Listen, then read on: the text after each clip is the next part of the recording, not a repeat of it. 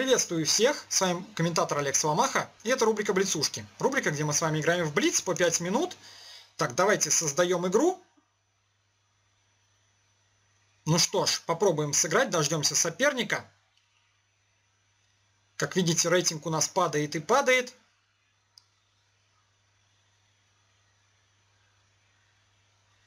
Так, и соперник что-то не приходит.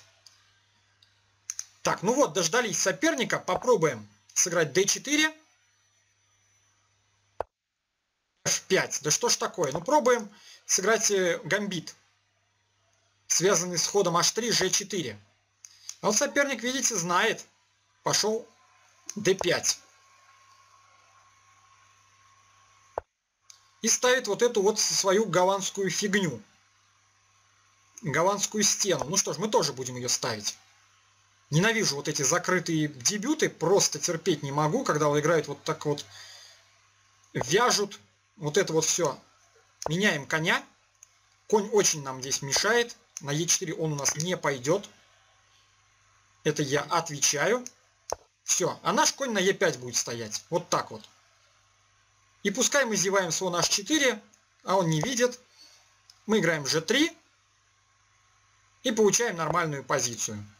Ну, здесь можно просто сыграть c3. Ферзь b6. Так, ну что, ферзь b3.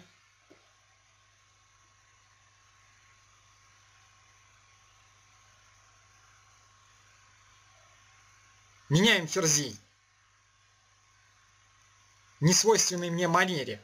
Но с другой стороны, а как надо было защищаться иначе, если просто пешка висела? Ферзь b3 нормальный человеческий ход. Все, поменялись.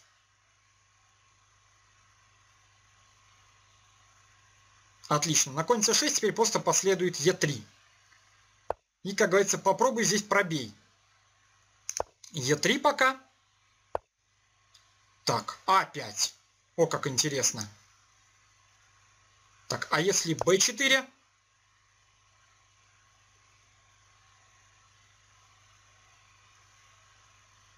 А если мы b4, то он съедает здесь. Ну что ж, тогда съедаем здесь. Так, и соперник хочет все менять. Хочет все менять. Нет, пускай меняет на своих условиях. Мы развиваемся. Мы развиваемся и горе не знаем. Меняется на своих условиях. Поменялись, поменялись. b5. Там, правда, конь на b4, да, придет? А, вернее, конь придет, да, на b4, там на d3. Неприятно. Пешка зависла. Ну что, надо бить тогда. Короля надо успеть на e2 поставить, и вообще отличная позиция будет. Вот он нам дает, кстати. Он нам дает все это сделать. Король на e2.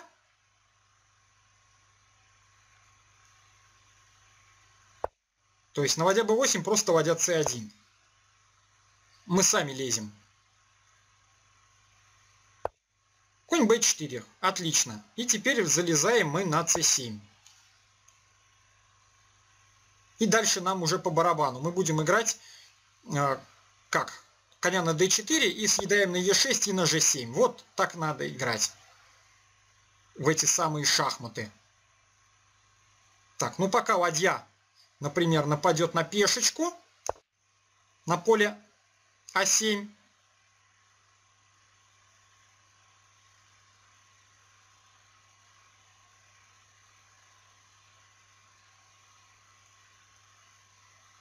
Как ему играть? На конь c6, вводя а6. Конь c2 поэтому.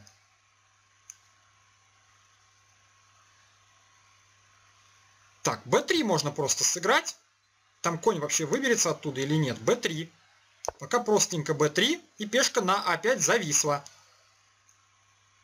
Ладья b5. Нет, d4. Ай-яй-яй, d4 сильное решение. Придется играть e4. Э, d4 было сильное решение.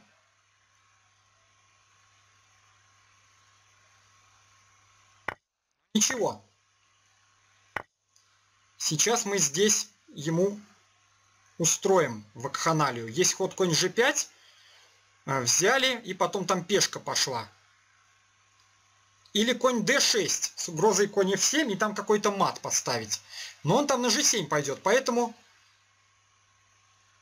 Так, так, так. Он, кстати, на g5 еще прицелился. Какой злодей.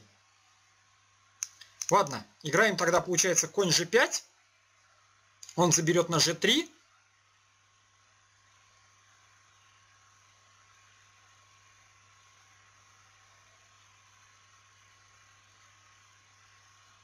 Так, как он будет играть? На, на g3 будет он забирать? Ой-ой-ой. Простите, пока не до Виталия Киселева. Так, да, взял на g3, да что ж такое? Так, съедаем здесь.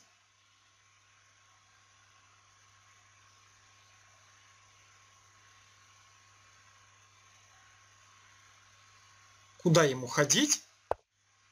Король g8, да. Так, если шах, сюда и f5. У него там своя тоже пешка пойдет.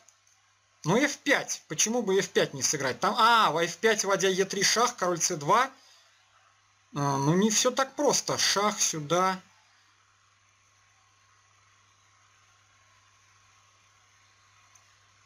Да, не очень понятные позиции на самом деле. Как ее играть? Ну хорошо, ладно, взяли тогда на А5, наверное. Пешку. Пешек поровну. Кстати, конь G5 был ход с угрозой мата. Сейчас нельзя, например, брать, мне кажется. Там конь G5 с угрозой мата. Так, попробуем обмануть, да? Конь G5 грозит мат.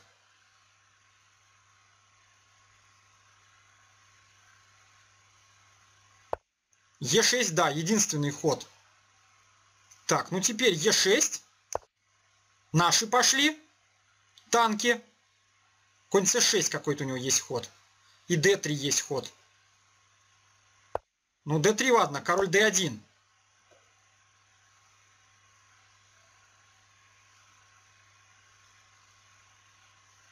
Сложная позиция. Грозит у меня тоже прохождение пешки в ферзи, между прочим. Пешка тоже опасная у меня.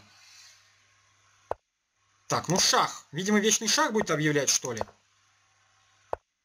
Так, и от вечного шаха главное никак не скрыться. Да, ничья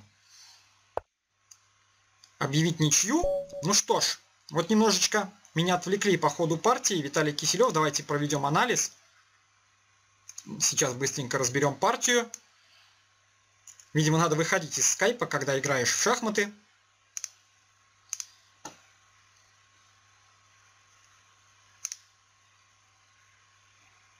Так, вставляем партию и быстренько смотрим. Значит, здесь у нас была э, разыграна как раз э, каванская защита. Здесь я зевнул ход, как видели, ферзь h4 шах, но ничего страшного. Позиция, как мы видим, остается в пользу черных. Ферзь b3 правильно. Ферзь бьет b3, аб, b6. Ну и вот позиция уже стала равная. Быстренько все перешли в эншпиль. Так, поменялись, поменялись. БА, ладья бьет опять. Да, вот так вот все быстренько поменяли. Король Е2 сюда, ладья С1, конь Б4, ладья С7. Что ж такое? Король F8, ладья А7, конь С2, Б3, D4, Е4 правильно, взяли, конь бьет Е4, здесь уже у белых выиграно, как ни странно, ладья бьет Б3, конь G5 не туда, конь С5 надо было с темпом. Ну и так получилось, ладья бьет G3, конь бьет Е6, король G8, Король f2 надо было сыграть. Очень интересно. Король f2, чтобы на g7 забрать. Я же сыграл сюда, так. Конь бьет d4. Кстати, был опять же у меня победа. Так, g6, e6. Ну и здесь вот... А, стоп. Здесь король f2 опять побеждал. Очень интересно. Король f2 и ладье некуда ходить, как ни странно. Я это не заметил. Ну и здесь получилась ничья, да, вечным шахом. Вот такая вот странная партия. Ну и как мы видели, здесь меня Виталий Киселев отвлекал как только мог. Ну что ж, если видео вам понравилось, ставьте лайки, подписывайтесь на канал. С вами же был комментатор Олег Свамаха. Всем спасибо и всем пока.